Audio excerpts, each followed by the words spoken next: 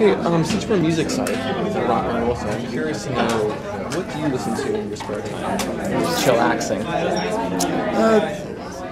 Lately, I'm listening to a lot of Kings of Leon, uh, tons of Pearl Jam.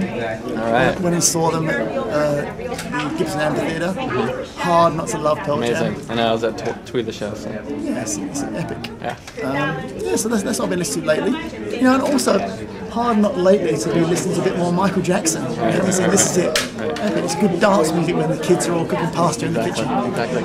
Um, just going back to the Pearl, Pearl Jam, what do you think it is about that band and their longe- longevity and their relevance? What do you think it is? Well, Pearl Jam is just the collective force of the band with lyrics that really, really mean something and drove a generation, you know, and still does. And I love Eddie Vedder's voice. I love the way the band play together, and I love the lyrics and what it stands for. There's nothing like being at a Pearl Jam show. Everybody sings every word, every lyric. Amazing.